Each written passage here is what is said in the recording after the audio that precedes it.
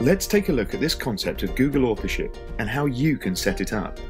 So, let's say you have someone who is Hmm. trying to learn about how to improve their position on Google Maps.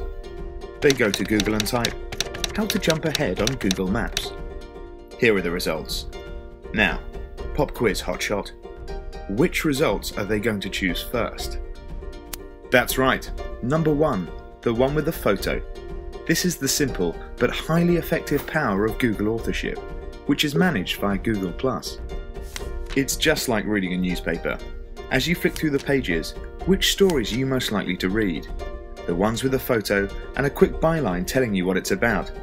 It's no longer necessary to fight for the number one spot on the ranking, because with authorship, the eye is drawn to your first post anyway. It has massive impact on click through rates.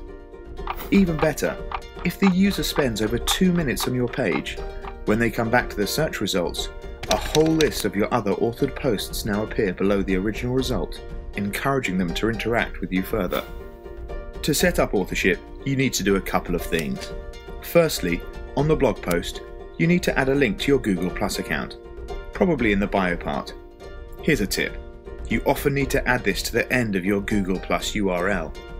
Next, go to your Google Plus account and in the About section, add the link to the site of your post under Contributor to.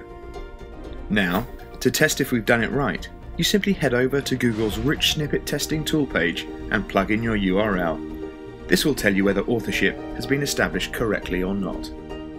That's it.